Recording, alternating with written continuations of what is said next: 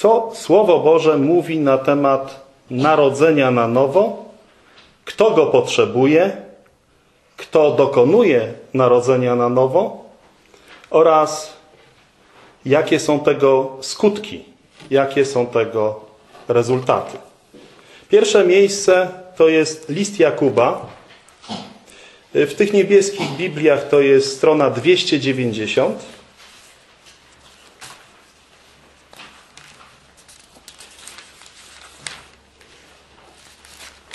Jakuba, pierwszy rozdział,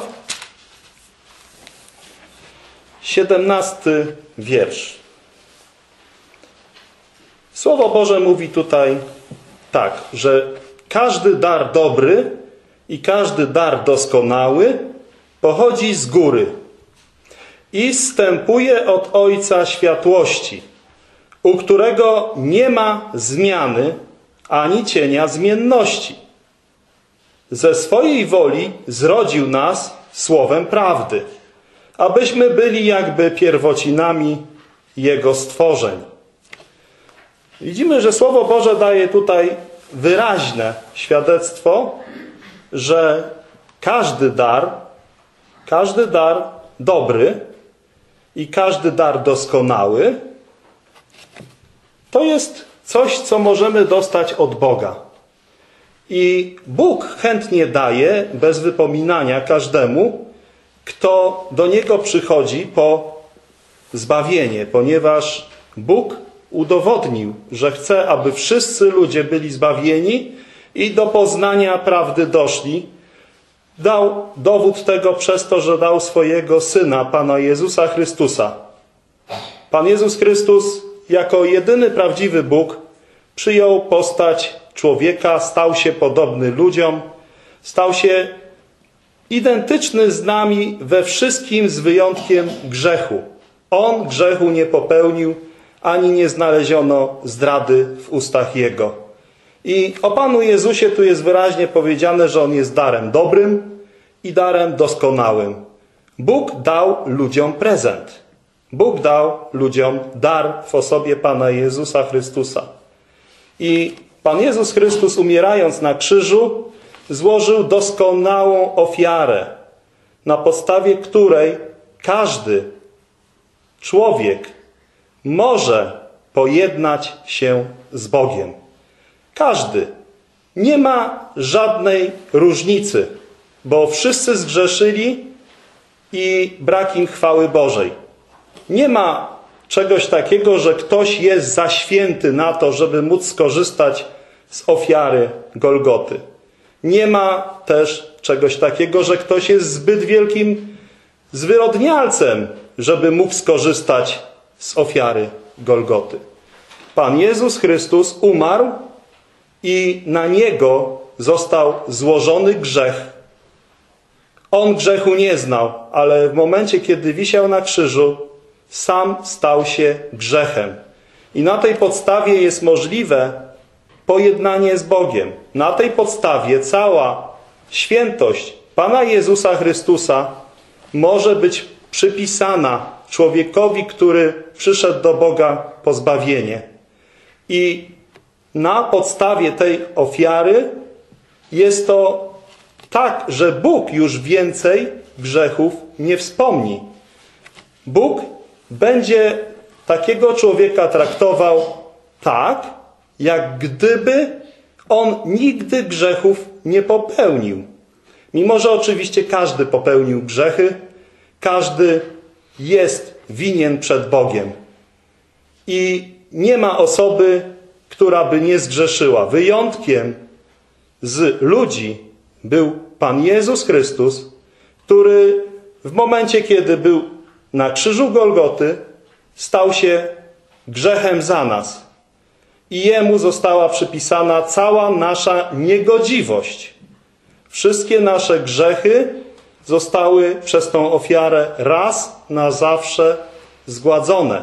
Gdy Pismo Święte mówi, że zostały zgładzone wszystkie grzechy, to Pismo Święte mówi, że chodzi o grzechy przeszłe, teraźniejsze i przyszłe. Wszystkie. Jakie kiedykolwiek człowiek jest w stanie popełnić, już Pan Jezus Chrystus za nie cierpiał. Na tym polega ten doskonały dar. Na tym polega ten dar od Boga. Jest to dar z góry. I widać tutaj w osiemnastym wierszu, że to, czy ktoś narodzi się na nowo, jest dziełem Bożym. Bo jest powiedziane, że to Bóg zrodził tych, którzy są wierzącymi w Pana Jezusa, tych zrodził z własnej woli. Osiemnasty wiersz. Ze swojej woli zrodził nas. Czym? Słowem prawdy, czyli tym, co mówi nam Pismo Święte o Panu Jezusie Chrystusie. I to jest bardzo ważne, żebyśmy wiedzieli, że narodzenie na nowo to jest dzieło Boga, nie nas. Tak samo jak każdy z nas się urodził kiedyś jako niemowlę. Ja na przykład nie miałem nic wspólnego z tym, że się urodziłem. Urodzili mnie rodzice, a dokładnie mama w dniu porodu mnie zrodziła. Ja nie miałem z tym nic wspólnego. I tak samo jest z nowym narodzeniem z góry. Nowe narodzenie z góry to jest dzieło Boga. To tylko Bóg może kogoś zrodzić na nowo. Może komuś dać nowe życie. Człowiek nie jest w stanie tego wypracować sam z siebie przez jakieś metody pracy nad sobą, czy przez różnego rodzaju zabiegi. To jest po prostu niemożliwe. Tylko Bóg może kogoś narodzić na nowo. Tak samo jak jest niemożliwe, że któregoś dnia ktoś postanawia, że się urodzi na tej ziemi i on się sam rodzi bez udziału matki. To jest zwyczajnie niemożliwe, żeby człowiek mógł się sam na nowo narodzić. Więc jest to dzieło Boże. Jeśli ktoś z nas tu na tej sali chce być narodzony na nowo, a Pan Jezus Chrystus wyraźnie powiedział w rozmowie z Nikodemem, musicie się na nowo narodzić, to jeśli ktoś chce być narodzony na nowo, musi wołać do Boga o to. Boże, chcę być narodzony na nowo. Jestem bezradny. Wiem, że Ty wymagasz, abym był narodzony na nowo, ale tylko Ty możesz mnie narodzić na nowo. Jestem bezsilny. Nie mam szans sam tutaj nic zadziałać. Ale wiem, że Ty chcesz, aby wszyscy ludzie byli zbawieni i do poznania prawdy doszli, więc proszę Cię o to, abyś mnie ratował. Jeżeli tak przyjdziemy do Boga, to Bóg jest tym, który daje każdy dar dobry i każdy dar doskonały. Ten dar pochodzi z góry, od Boga. Drugie miejsce to jest pierwszy list Piotra, pierwszy rozdział, to jest strona 295.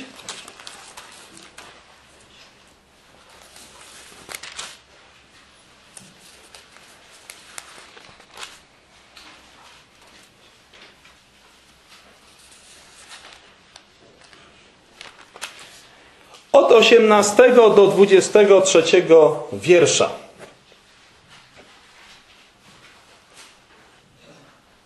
Wiedząc, że nie tym, co zniszczalne, srebrem lub złotem, zostaliście wykupieni z waszego marnego postępowania przekazanego przez ojców, lecz drogą krwią Chrystusa, jako baranka niewinnego i nieskalanego,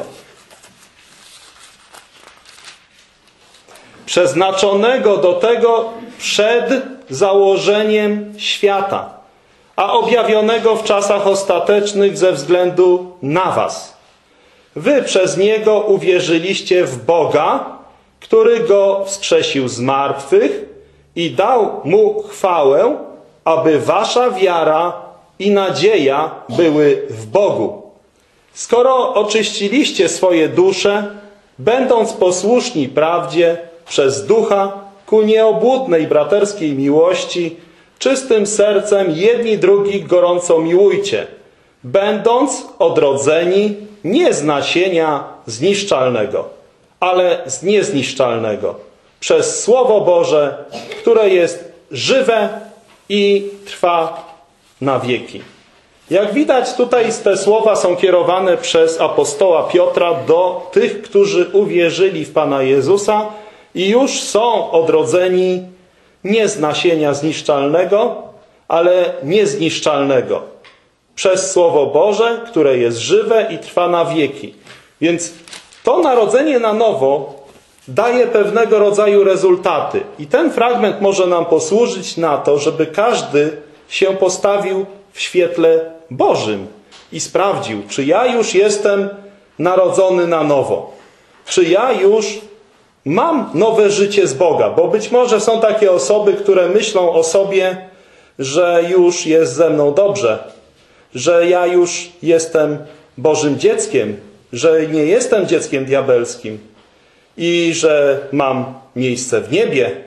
Może są takie osoby i być może mają rację, ale być może się mylą.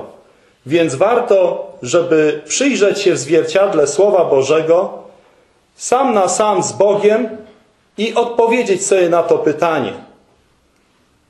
Więc tutaj widać, że taka osoba, która jest narodzona na nowo, wie, że jest odkupiona nie własnym działaniem, nie jakimiś rzeczami z tego świata, tylko osiemnasty wiersz mówi, wiedząc, że nie tym, co zniszczalne srebrem lub złotem zostaliście wykupieni z waszego marnego postępowania, przekazanego przez ojców, lecz drogą krwią Chrystusa jako baranka, niewinnego i nieskalanego. Czy wiesz o tym, że Chrystus jest barankiem? Czy wiesz, że Chrystus jest niewinny? Czy wiesz, że Chrystus jest nieskalany? Czy rozumiesz, że tylko Jego ofiara jest w stanie zbawić? Bo jeżeli pokładasz ufność w czymkolwiek innym, to jest niestety zła wiadomość dla Ciebie. Jeśli pokładasz ufność w czymkolwiek innym niż w ofierze Pana Jezusa Chrystusa, jeśli pokładasz ufność w czym innym niż w drogiej krwi Chrystusa jako baranka niewinnego i nieskalanego, to niestety jesteś jeszcze dzieckiem diabła. Nie jesteś narodzony na nowo. Więc to jest pierwszy punkt, który z tego miejsca możemy wyciągnąć dla siebie. Jeżeli z kolei wiesz, że Chrystus jest doskonały, że Chrystus jest barankiem niewinnym i nieskalanym, jeśli wiesz, że Jego krew przelała się za Ciebie, to znaczy, że jesteś narodzony na nowo. Bo uwierzyłeś w doskonałe dzieło Pana Jezusa Chrystusa, uwierzyłeś Bogu, który Go dał jako przebłaganie za grzechy Twoje. I widzimy tutaj, że Bóg już dawno, w przeszłej wieczności, myślał o tym, żeby ta ofiara była złożona. Dwudziesty wiersz mówi, że to już było przeznaczone przed założeniem świata. A w czasach ostatecznych, czyli wtedy, kiedy Pan Jezus Chrystus został przybity do krzyża, zostało dopiero ujawnione. I widzimy, że wiara w Boga to nie jest nasze działanie, tylko 21 wiersz mówi, że przez Chrystusa człowiek wierzy w Boga. To Chrystus jest źródłem to Chrystus jest w stanie takiego pokutującego grzesznika naprowadzić na właściwe tory.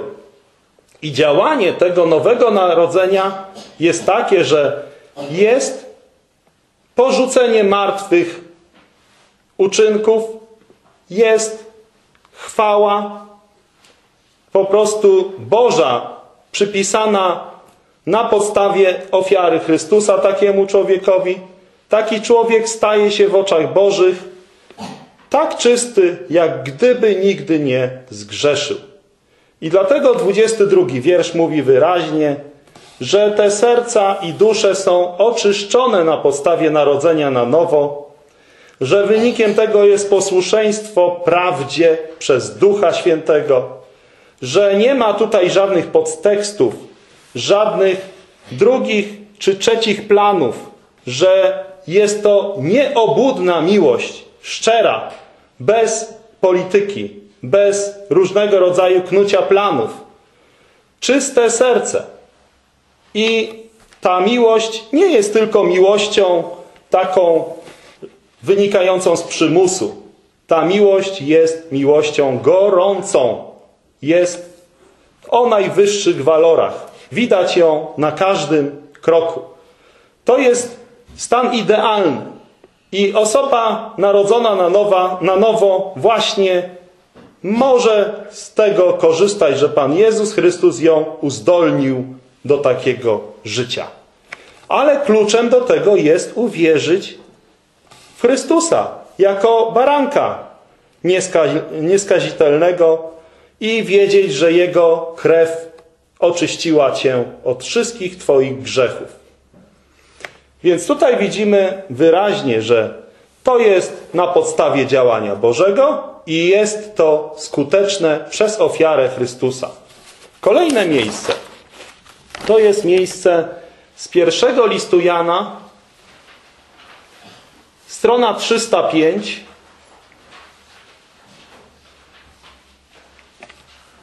Pierwszy list Jana, trzeci rozdział.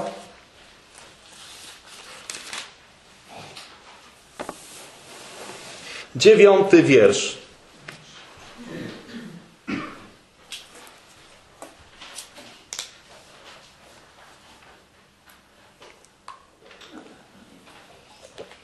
Każdy, kto się narodził z Boga,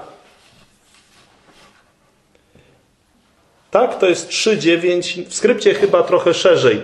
Każdy więc, kto w nim trwa, nie grzeszy. To już jest fragment yy, wcześniej nieco.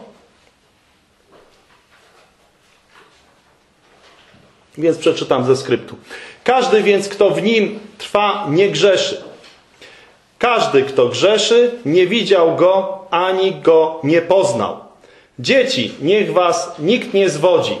Kto czyni sprawiedliwość, jest sprawiedliwy, tak jak i on jest sprawiedliwy. Kto popełnia grzech, jest z diabła, gdyż diabeł od początku grzeszy. Po to objawił się Syn Boży, aby zniszczyć dzieła diabła. Każdy, kto się narodził z Boga, nie popełnia grzechu, bo jego nasienie w nim pozostaje i nie może grzeszyć, gdyż narodził się z Boga. Po tym poznaje się dzieci Boże i dzieci diabła. Każdy, kto nie czyni sprawiedliwości, nie jest z Boga, jak i ten, kto nie miłuje swego brata.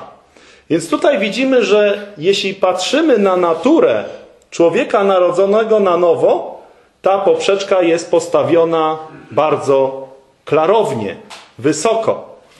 Wiadomo, że czym innym jest, jeżeli ktoś jest na przykład kierowcą i zazwyczaj nie przekracza prędkości, czyli jeździ przepisowo, a w wyniku jakiegoś zamieszania, manewru czy wyprzedzania przekroczy prędkość, ale na co dzień zawsze jeździ przepisowo.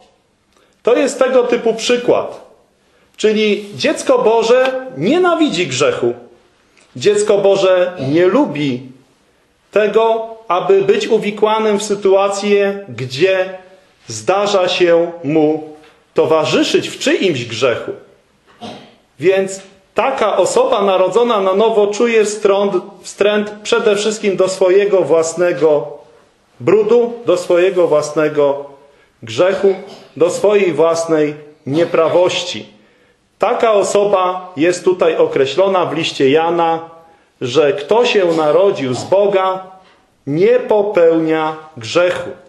Nie jest zainteresowany tym, żeby walczyć przeciwko Bogu, bo grzech to jest bunt przeciwko Bogu.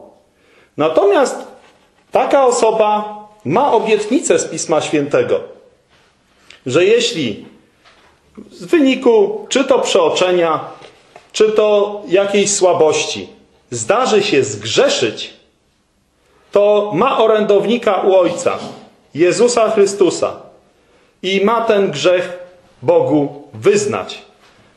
I wtedy krew Jezusa Chrystusa oczyści taką osobę i ten grzech wyznany, przecież Bóg zna nasze grzechy, ten grzech wyznany jest od razu przez Boga traktowany jako taki, który jest zlikwidowany. Bo Pan Jezus Chrystus za wszystkie umarł. I to chodzi o higienę takiej osoby, która jest narodzona na nowo. Jeśli zdarzy się potknąć, to taka osoba musi codziennie zajmować się swoim życiem, czy danego dnia byłem doskonale zgodny z myślami Bożymi. Jeśli nie, to to trzeba od razu Bogu przedstawić. Można to robić co rano, można to robić wieczorem, można to robić na bieżąco w ciągu dnia, w każdej wolnej chwili. Generalnie chodzi o to, że dziecko Boże brzydzi się grzechem. Dziecko Boże nienawidzi grzechu. Dziecko Boże nie traci czasu na walkę z grzechem, bo nie o to chodzi. Chodzi o to, żeby żyjąc, żyć dla Boga, przybliżać się do obrazu Pana Jezusa Chrystusa, być takim jak On był na tym świecie. I to właśnie chce osoba narodzona na nowo tak żyć, jak Chrystus tu na ziemi. I dlatego tu jest powiedziane po tym poznaje się dzieci Boże i dzieci diabła. Kto nie czyni sprawiedliwości, nie jest z Boga. Jak i ten, kto nie miłuje swego brata. Bo jest to jasna sprawa. Jeżeli ktoś nie miłuje, to nie ma w nim miłości Boga. Nie jest narodzony na nowo. Niech wróci do punktu pierwszego. Niech woła do Boga o zbawienie. To jest dowód na to, że jest się na szerokiej drodze do piekła.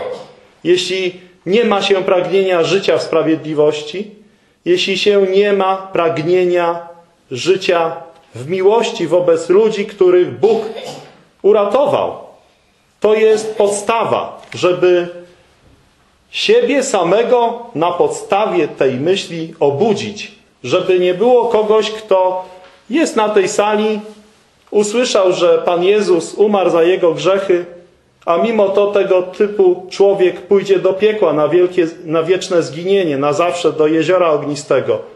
To by była wielka katastrofa. Kolejne miejsce. Pierwszy list Jana, rozdział drugi, to jest strona 304. Rozdział drugi, 29 wiersz. Jeżeli wiecie, że On jest sprawiedliwy, wiedzcie też, że każdy, kto czyni sprawiedliwość, z Niego się narodził. Widzimy tu wyraźnie potwierdzenie tej myśli, że jeśli ktoś czyni sprawiedliwość, z Boga się narodził. Kto jest sprawiedliwy? Bóg. Kto jest sprawiedliwy? Bóg objawiony w ciele, Jezus Chrystus. Jeśli ktoś czyni sprawiedliwość, z Boga się narodził. Jeśli ktoś czyni tak, jak Słowo Boże uczy, i to jest pragnieniem jego serca, a nie wyuczonym przepisem ludzkim, to mamy do czynienia z miejscem, które definiuje życie osoby narodzonej na nowo. Jeśli to jest prawdą w Twoim życiu, że przyjąłeś Jezusa Chrystusa jako Twojego Zbawiciela, jeśli uwierzyłeś, że Jego ofiara jest doskonała i jesteś pewien, że Jezus Chrystus zmazał wszystkie Twoje grzechy, jeżeli widzisz, że od rana do wieczora nic, tylko zajmuje Cię, jak czynić sprawiedliwość, to ten fragment jest dowodem na to, że z Boga się narodziłeś. Ale jeżeli coś tutaj nie działa, to wołaj do Boga. bo jest to wielką tragedią, jeśli wiedząc tak dużo ze Słowa Bożego, trafisz na wieczne zginienie do jeziora ognistego jako dziecko diabelskie. Kolejne miejsce. To jest pierwszy list Jana, piąty rozdział, strona 307.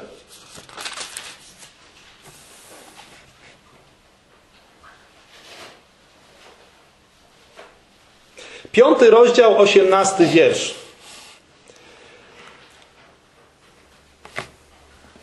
Znowu podobna informacja i bardzo mocno podkreślona. Wiemy, że każdy, kto się narodził z Boga, nie grzeszy. Ale kto się narodził z Boga, zachowuje samego siebie, a zły go nie dotyka. Nie jest tu mowa o tym, że kto się narodził z Boga od czasu do czasu nie zgrzeszy. Jest różnica między grzeszy a zgrzeszy. Natomiast jest tu mocno podkreślone, że chodzi o to, że każdy, każdy, kto się narodził z Boga, czyli nie ma wyjątku. Jeśli ktoś jest narodzony z Boga, odkrywa sam w sobie, że nienawidzi grzechu, że nie chce grzeszyć i że ma dzięki mieszkającemu w nim Duchu Świętemu, Duch Święty to jest Bóg zesłany po tym, gdy Pan Jezus Chrystus został wzięty do nieba, gdy zmartwychwstał i nastąpiło Jego w niebo wstąpienie, to w dniu pięćdziesiątnicy przysłał Ducha Świętego, trzecią osobę Boga, trzecią osobę Trójcy.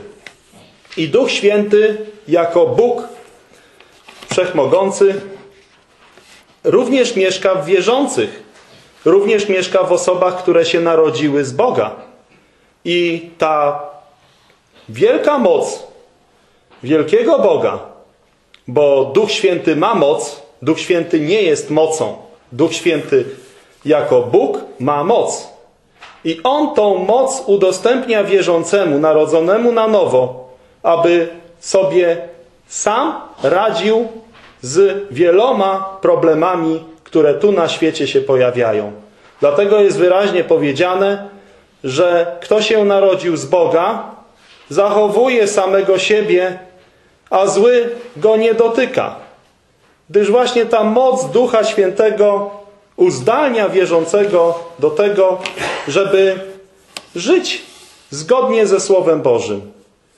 Na początku to nie wychodzi może doskonale. Zaraz po narodzeniu na nowo jest wiele przyzwyczajeń i wiele problemów, które wierzący musi rozwikłać według Słowa Bożego. I nie może za niego tego zrobić ktoś inny.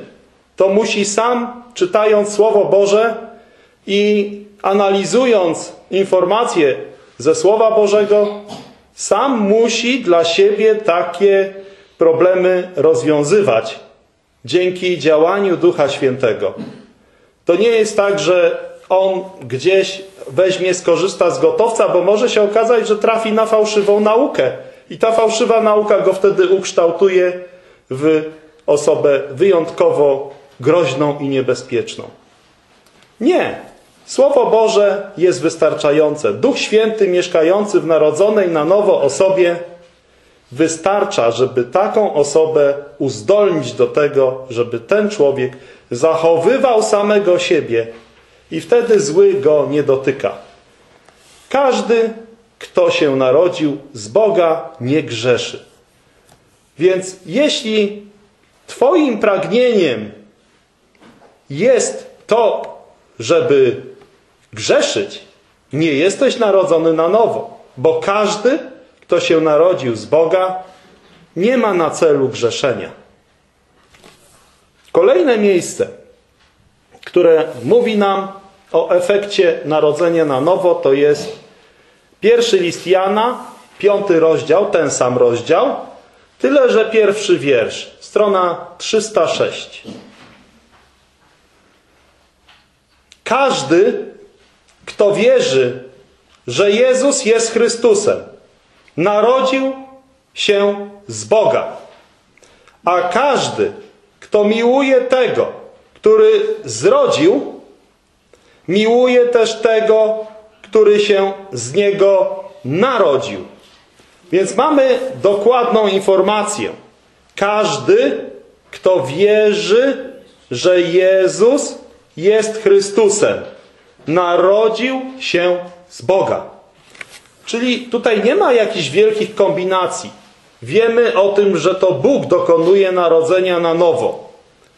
I jeżeli wierzysz, że Jezus jest tym, którego Bóg złożył w ofierze na krzyżu Golgoty za Twoje grzechy, że ta ofiara doskonała przebłagała wszystkie Twoje grzechy, to jesteś narodzony z Boga. Tego przekonania człowiek sam nie może w sobie wypracować.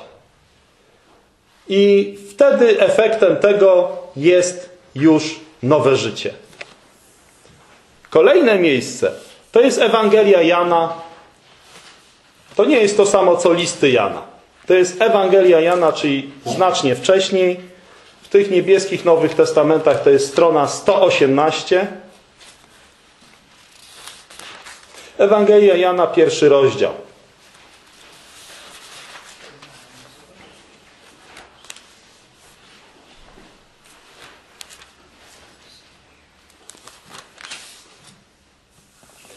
I tutaj mamy wyraźne świadectwo Pisma Świętego, że 12 i 13 wiersz przeczytam. Wszystkim tym, którzy Go przyjęli, dał moc, aby się stali synami Bożymi, to jest tym, którzy wierzą w Jego imię, którzy są narodzeni nie z krwi, ani z woli ciała, ani z woli mężczyzny, ale z Boga. Więc jest wyraźne świadectwo, że Pan Jezus Chrystus przyszedł na ziemię i został przez niektóre osoby przyjęty. Większość go odrzuciła, bo Pan Jezus Chrystus został odrzucony. Ale niektórzy go przyjęli. I ci, którzy go przyjęli, ci, których on nawet określa malutkie statko, czyli to jest tak mała grupa. Nawet Pan Jezus powiedział, ale czy Syn Człowieczy znajdzie wiarę na ziemi, gdy przyjdzie? Dlaczego zadał takie pytanie?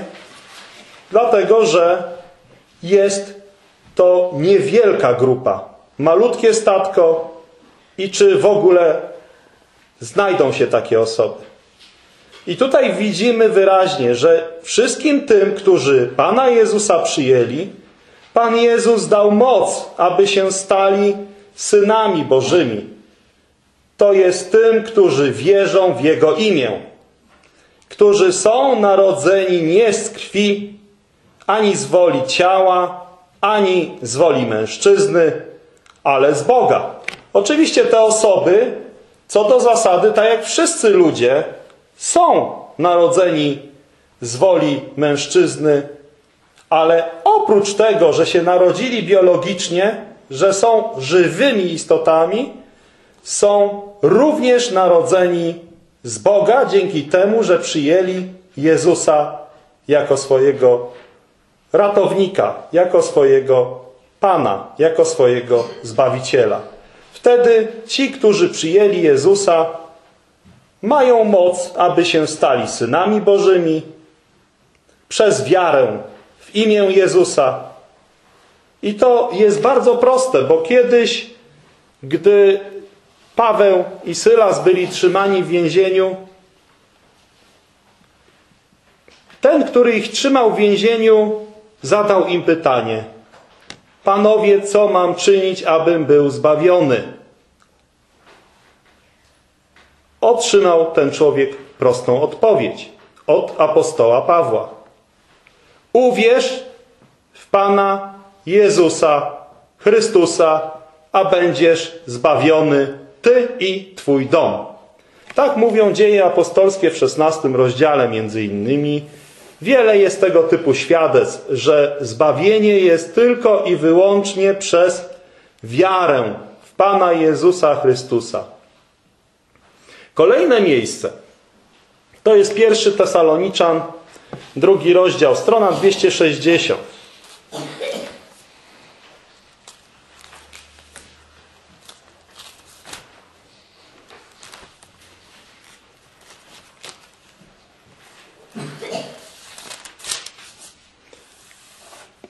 Pierwszy Tesaloniczan 2,13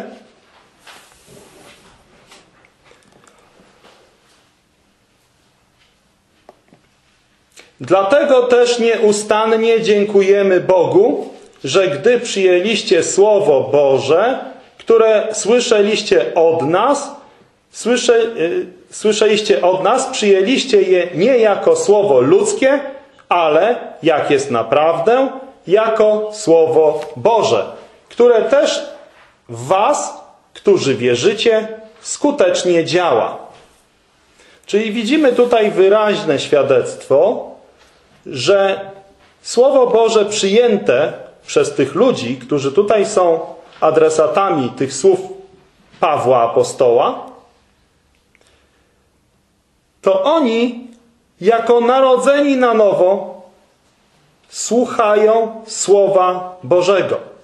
Są chętni do tego, żeby to Słowo Boże w nich pracowało. To jest pierwszy objaw taki praktyczny narodzenia na nowo. Jeśli jesteś narodzony na nowo, to między innymi zauważysz to, że Twoje uszy lgną do tego, co Słowo Boże ma do powiedzenia. Że tylko będziesz chciał żyć, będziesz chciała żyć tym, co Biblia mówi. Że nie będą Cię interesowały opinie ludzi, tylko będzie Cię interesowało, co ma Bóg do tego, do powiedzenia na dany temat. Nie będą się liczyły ludzkie opinie, tylko i wyłącznie opinia Boża na dany temat będzie dla Ciebie kluczowa. To jest typowy objaw narodzenia na nowo. Jeżeli tego nie ma, to jest duże zagrożenie, że niestety nie jesteś narodzony, nie jesteś narodzona na nowo. Dlatego, że zdrowe niemowlę nie może być odpędzone od mleka matki. Tak samo narodzony na nowo człowiek nie da się odpędzić od tego, co Bóg ma do powiedzenia. I kolejny fragment jest, który chciałbym, żebyśmy też mu się przyjrzeli. 2 Koryntian 4,6 to jest strona 229 w niebieskich Nowych Testamentach. 2 Koryntian 4,6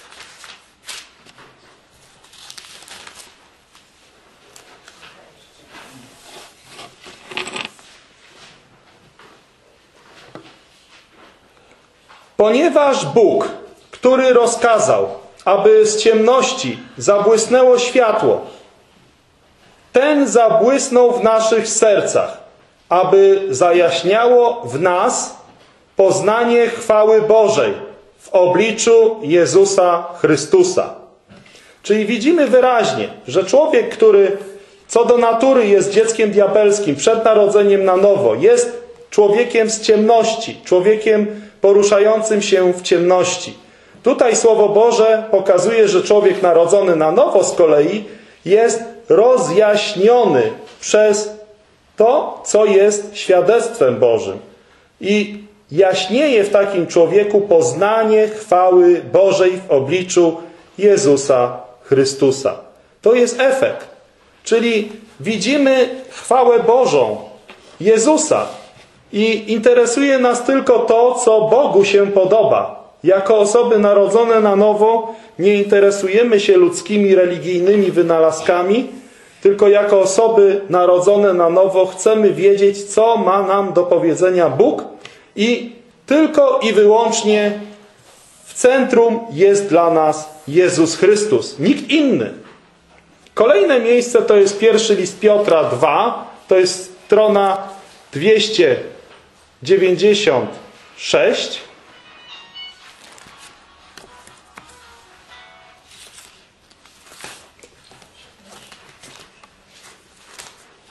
Pierwszy list Piotra, drugi rozdział, drugi wiersz.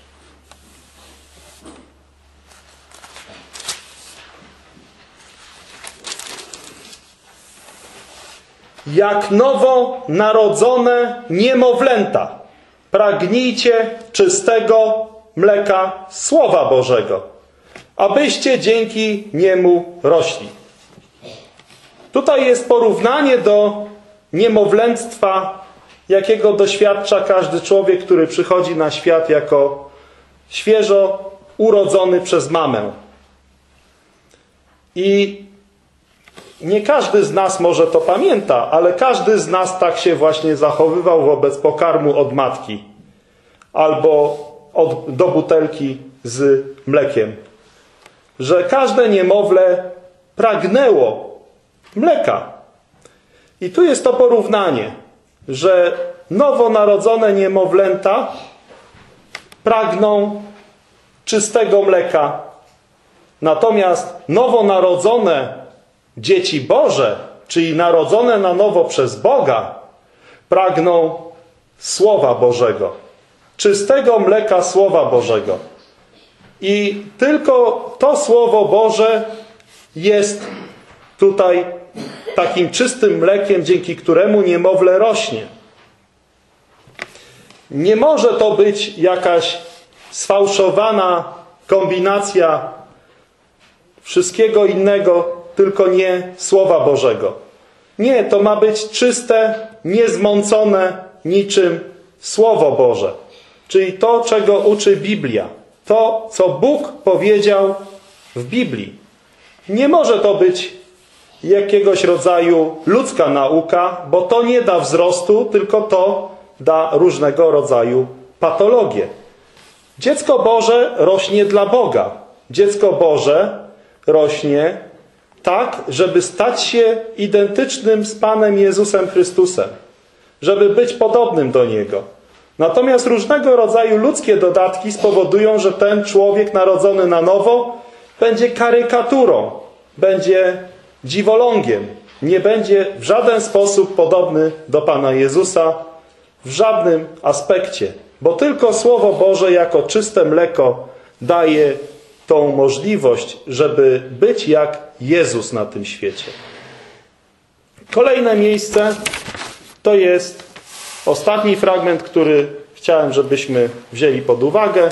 Z dziejów apostolskich, dziewiąty rozdział, strona 163.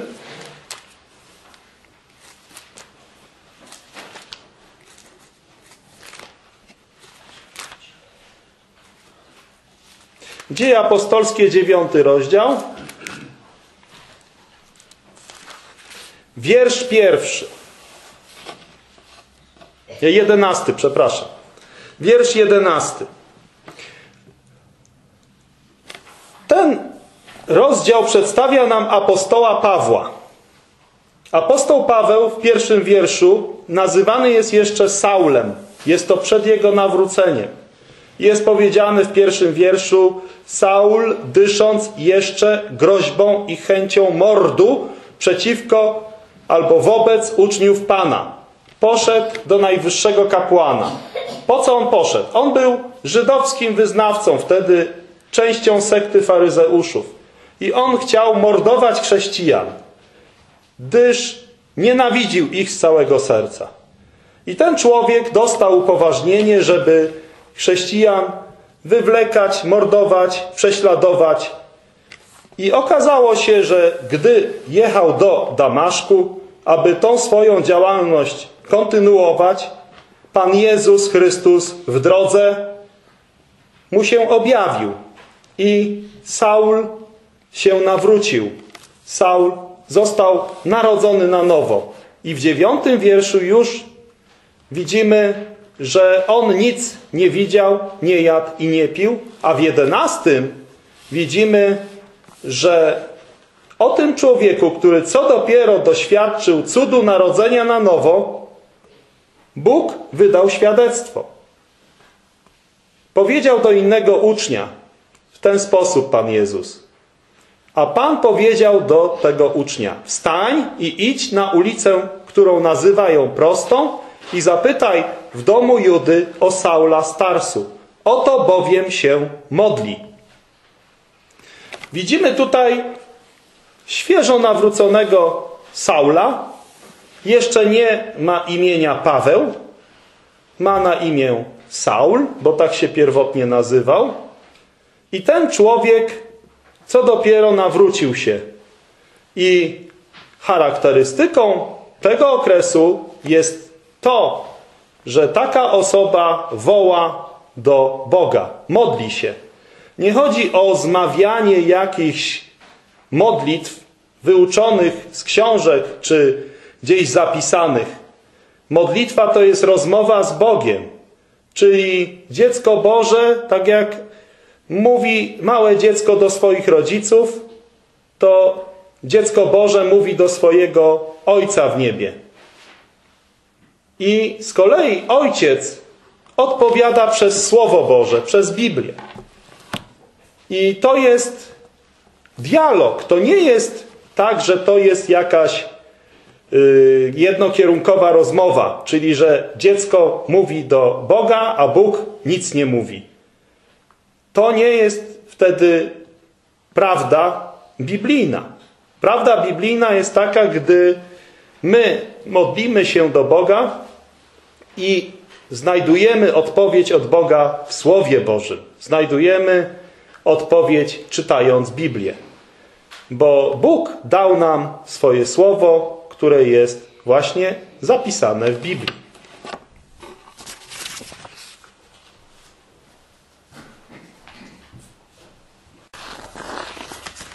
Szanowny przyjacielu, tylko w Panu Jezusie Chrystusie jest ratunek przed należną Tobie karą piekła wiecznego. Słowo Boże mówi wyraźnie, co musi się stać, abyś był zbawiony. Pan Jezus Chrystus, jedyny bez grzechu, wziął na siebie Twoje grzechy. Umarł na drzewie krzyża zamiast Ciebie możesz skorzystać z tego doskonałego dzieła Pana Jezusa. W jaki sposób? Uwierz w Pana Jezusa Chrystusa, a będziesz zbawiony. Uczą o tym dzieje apostolskie, 16 rozdział, 31 werset. Jeśli chcesz rozpocząć korespondencyjny kurs biblijny lub otrzymać bezpłatnie Nowy Testament Pana Jezusa Chrystusa, napisz do nas, wyślij SMS-a lub zadzwoń. Czytaj.biblię, tak zwana małpa, onet.pl Telefon 739 089 088 Możesz też napisać adres pocztowy Czytaj Biblię skrytka 31 63 500 Ostrzeszów. Kanał na YouTubie. Czytaj Biblię Ostrzeszów. Serdecznie zapraszamy do uwierzenia Panu Jezusowi Chrystusowi. Wszelkie pytania, jakie zadasz, postaramy się jak najbardziej odpowiedzieć Tobie według Słowa Bożego. Jeśli akceptujesz Słowo Boże jako podstawę, na której oczekujesz odpowiedzi, zapraszamy do kontaktu. Jesteś serdecznie zaproszony do tego, żeby zamówić u nas bezpłatny Nowy Testament Pana Jezusa Chrystusa albo Biblię albo chrześcijańską literaturę. Bezpłatnie i bez wypominania. Nie troszcz się o koszty, dlatego że jeśli nie będziemy w stanie Ci ich wysłać, to po prostu poinformujemy, że nie damy rady. Ale jeśli damy radę, to dostaniesz je bezpłatnie. serdecznie zapraszamy do kontaktu z Bogiem.